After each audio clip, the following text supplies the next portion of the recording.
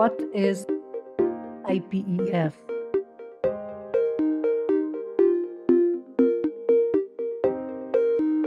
IPEF stands for the Indo Pacific Economic Framework for Prosperity. IPEF was launched by the United States on 23rd May 2022. Who are in the IPEF? IPEF members include 14 countries Australia, Brunei Darussalam, Fiji, India, Indonesia, Japan, the Republic of Korea, Malaysia, New Zealand, Philippines, and Singapore. 14 IPEF partners represent 40% of the global GDP, 28% of global goods and services trade. IPEF is built on four pillars Pillar 1 on trade, Pillar 2 on supply chains, Pillar 3 on infrastructure, clean energy, and decarbonization, and Pillar 4 on tax and anti corruption. Despite the United States' promotion of IPEF as a worker centric framework, it is far from being true.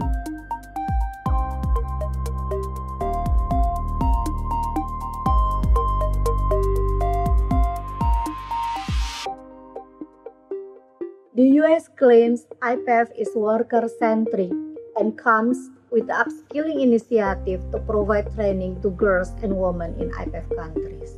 This technological upskilling initiative, driven by big tech, automatically put women in the decision making process and guarantee their digital rights and security?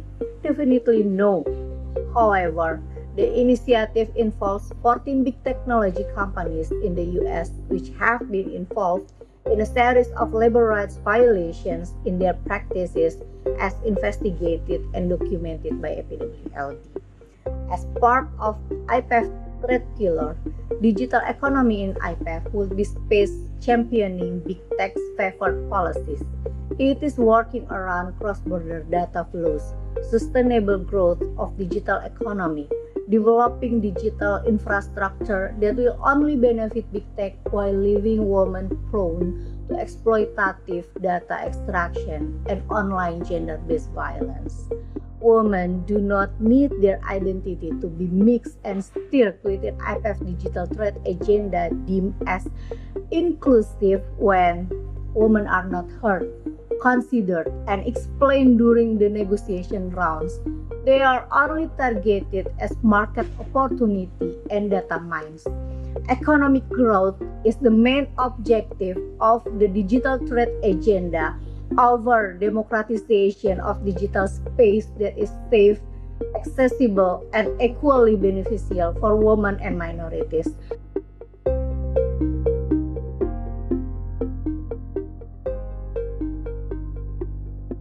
The US Indo-Pacific Economic Framework is designed to intensify the trade and investment monopoly in rich mineral resource countries in the global south. And the IPEF itself will contribute to the expansions of economic extractions activities in these countries for the sake for energy transition agenda and only benefiting the multinational corporations uh, in the developed countries. It also undermines the people's rights through the accelerations of land acquisitions and deforestations, including the destructions of marine ecosystem, which ultimately marginalize the rights of affected uh, communities, especially vulnerable groups such as women, small farmers, small fishers, indigenous peoples, and workers. Uh, so the IPEF will only create more conflicts uh, without any clarity on the protections of human rights and environment including the remedial actions for the people on the ground. Therefore, we urge the government uh, of Indonesia and other Asian governments to not join IPEF and ratify it, including the bilateral critical mineral agreements with the US.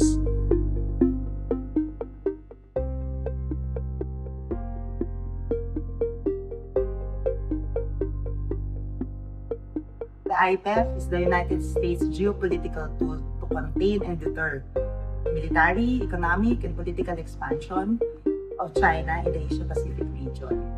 The IPEF includes five of the US's major security partners in the Asia-Pacific region, the Philippines, Thailand, South Korea, Australia, and Japan.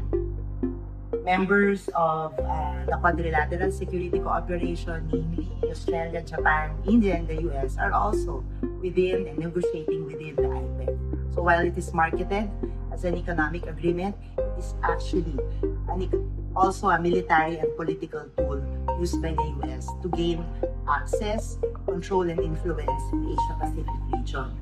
This means heightened militarism in the region, which will impact women heavily by affecting women's access to resources, their jobs, and livelihood.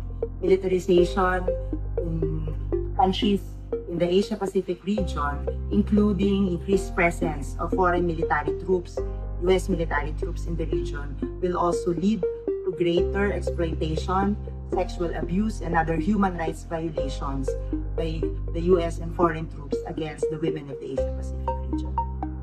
As women in the region, we must resist the IPEF.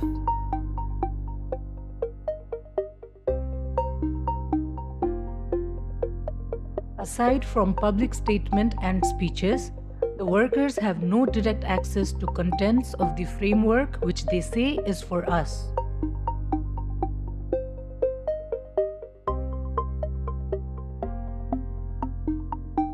How can we ensure that IPEF will be positive for workers if many details are absent in the public discussion? Scope, enforcement, incentives, sanctions. Working people are not in the loop when it comes to these substantive questions. Absent of basic guarantees for transparency and robust public and congressional input, these negotiations could undermine women's human rights. History tells us that capitalist agreements have never worked in favor of workers, women, farmers, and marginalized groups.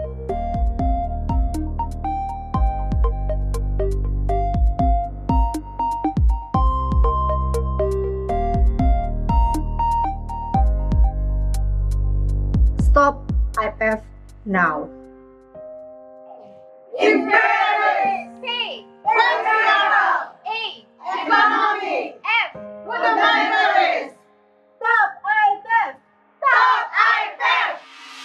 APWLD is the leading network of feminist organizations and individual activists in Asia and the Pacific.